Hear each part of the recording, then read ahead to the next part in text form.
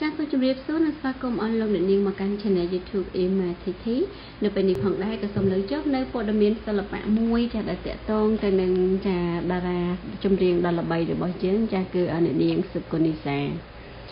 ចាចឹងភ្ញាក់ផ្អើលជាខ្លាំងក្រោយពេលដែលសុគនីសាបានបង្ហាញរូបភាពមួយសន្លឹកមើលទៅគឺក្មេងខ្លាំងតែម្ដងចា ចឹងអ្នកនាងសុគន្ធនិសាគឺចាកំពុងតែមានភាពជោគជ័យនៅក្នុងវិស័យសិល្បៈរបស់នាង ជាពិសេសជាមួយនឹងទឹកដមសំនៀងដ៏សែនពិរោះ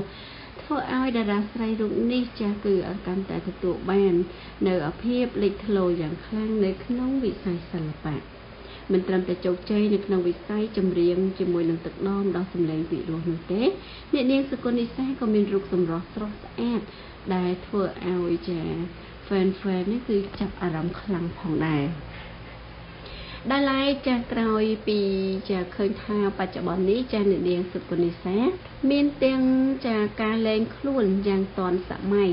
ព្រមទាំងតបតែងផាត់មុខនិងការប្រើប្រាស់នៅសម្លៀកបំពាក់ក៏ដូចជាម៉ូដសក់ដែលអាចជួយលើកសម្រស់របស់អ្នកនាងឲ្យកាន់តែមានមន្តស្នេហ៍និងមានភាពវ័យក្មេងក្នុងពេលដែលនាងមានវ័យកាន់តែច្រើនទៀតផង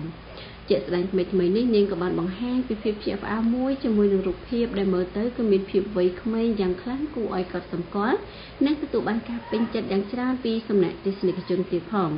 ប៉ុន្តែជាការពិតទៅនៅក្នុងនោះគឺជារូបភាពដែលបានកែសម្រួលនៅក្នុងកម្មវិធីតែប៉ុណ្ណោះតែម្យ៉ាងវិញទៀតនាងក៏បានបន្ថែមជាមួយនឹងរូបភាពពិតប្រាកដមួយនៅក្នុងនោះដែលពិតជាមានភាពខុសគ្នាយ៉ាងខ្លាំង។តែទោះជាយ៉ាងណាមិនថារូបភាពការសម្រួលឬក៏រូបភាពពិតប្រាកដរបស់នាងនោះទេក៏នៅតែជាទីចាប់អារម្មណ៍យ៉ាងខ្លាំងក៏ដូចជាទទួលបានការគ្រប់គ្រងពីសំណាក់ fan fan ផងដែរ ចាចឹងលោកអ្នកអាចទស្សនាបានជាមួយនឹងរូបភាពមួយសន្លឹកចារបស់អ្នកនាងសុគន្ធនិសាចាដែលមើលទៅគឺថាពិតជាមានភាពវ័យក្មេងខ្លាំងតែម្ដងហើយចាចាអញ្ចឹងឥឡូវនេះដែរយើងបន្តជាមួយនឹងព័ត៌មានមួយទៀតដាក់ចំណងជើងខែអ៊ីណូចាស់ចិត្តចាប់កងត្រែងជាមួយនឹង Sunday ក៏បានបោះសម្ដីដ៏គួរឲ្យចាប់អារម្មណ៍មួយ តារាចម្រៀងប្រចាំផលិតកម្ម Sunday គឺលោកអ៊ីណូបង្ហើបថានឹងជាប់កងត្រែងជាមួយនឹងផលិតកម្ម Sunday នៅឆ្នាំ2021ខាងមុខនេះហើយប៉ុន្តែលោកពុំមានបំណងផ្លាស់ប្ដូរទ្រនំថ្មីឬហក់ទៅកាន់ផលិតកម្មណាផ្សេងទៀតនោះទេ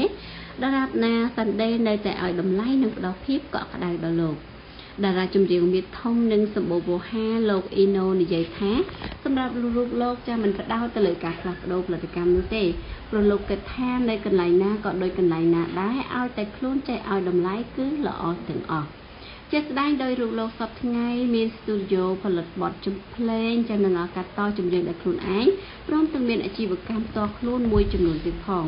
ប៉ុន្តែ Sunday នៅតែមិនទៅម្នោះនឹងលោកតែលោកក៏បំពេញភារកិច្ចខ្លួនបានត្រឹមត្រូវដែរ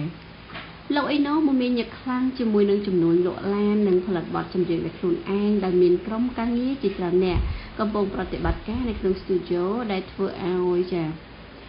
នឹងយានដ្ឋានលក់ឡានរបស់លោកចាត់ទៅនឹងបើកថ្មីស្ថិតនៅភូមិបាយ៉ាបសង្កាត់ភ្នំពេញថ្មីខណ្ឌសែនសុខបတ်ថាលោករវល់នឹងការងារទាំងនោះប៉ុន្តែលោកមិនដែលអាក់ខានចាបបបត់ចម្រៀងខ្លួនទៅកាន់ផលិតកម្ម Sunday ឡើយក្នុងមួយខែមួយខែយ៉ាងហោចណាស់2ទៅ3បទដែរ